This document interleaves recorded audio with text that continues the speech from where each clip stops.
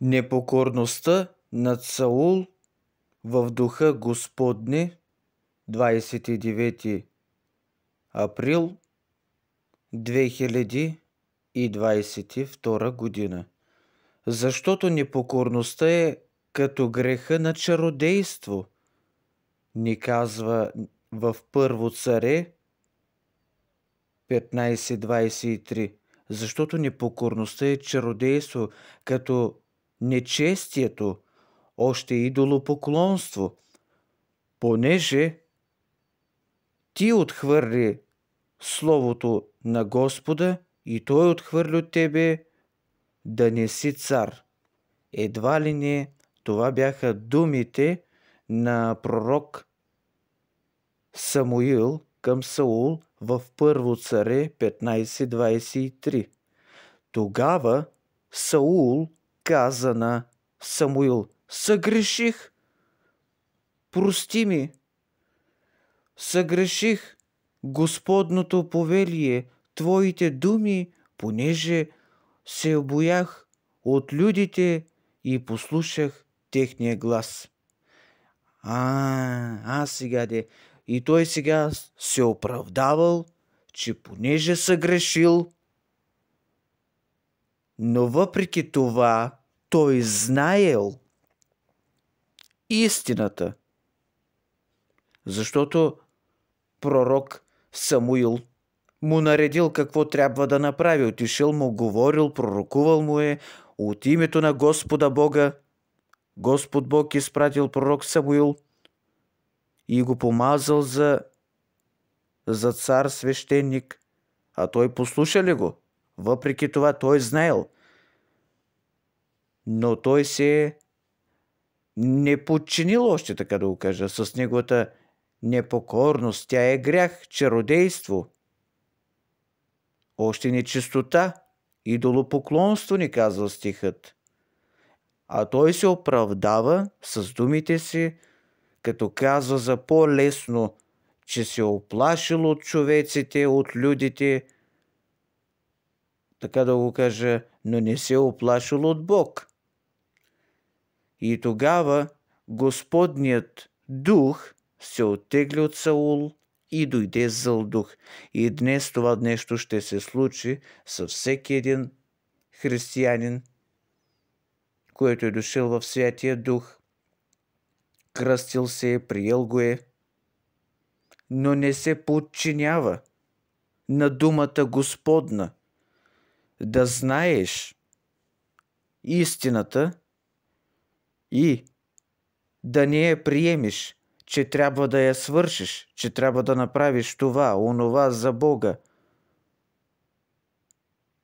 Да бъдеш непокорен. То си е чист грях, чародейство, упорство, нечистота.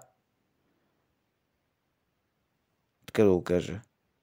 Не упорстваш на Бога, идолопоклонство. И какво правиш ти всъщност? Отхвърляш Господното Слово. И когато ти го отхвърляш, и той Господ Бог, много ясно, че и той ще отхвърли от тебе Словото си, като ти вдигне Святия Дух. В Деяния на апостолите, петата глава, не се говореше за един Анание. И той какво направи? Отиде с жена си, с съпругата си, продаде нивичката и задържа нещо от цената. Едва ли не съблазнил се в духът Господне. Какво ли си казал? Святия дух, святия дух. Какъв ти святия дух? И когато той е задържал нещо от цената, и Петър ни казва в Деяние на апостолите, петата глава, трети стих, а Петър рече на Анания, защо Сатана изпълни сърцето ти, да излъжеш Святия Дух и да, и да задържиш от цената на нивата? И тогава естествено какво се случи? Анания падна и издъхна и голям страх обзе всички, които чуха това. Които чуха какво? Думите Господни. И какви бяха те? Изобличение за тайният грях. Значи, никой не е знаел нищо. Абсолютно. Двамата какво са свършили с съпругата си. Дори и Петър не е знаел, докато не получил свръхестествено откровение от Бога. С дарбите е свръхестествено явление. Да, след като той е получил това откровение, той изобличи Анание пред всички. И стихът ни казва в Деяние на апостолите 5.3, че той падна и умря. Така ще се случи със всеки един християнин, свещеник, който се опита да надхитри ближния си, който се опита да излъже ближния си, който се опита да ограби от църквата или от покъщината му, той ще бъде изобличен от е, Духът Господне и Господ Бог ще му вдигне Святия Дух. Защото Святия Дух е дух на истината. Той е дух на служение, на дисциплина и контрол. Не можем ние да се правим каквото си искаме.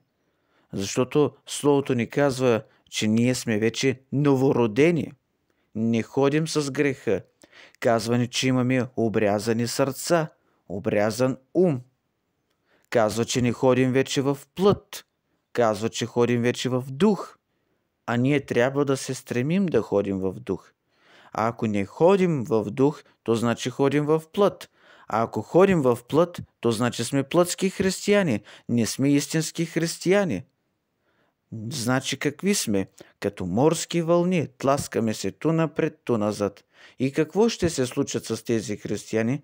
Ще свършат едва ли не като Саул и като Анания. Амин.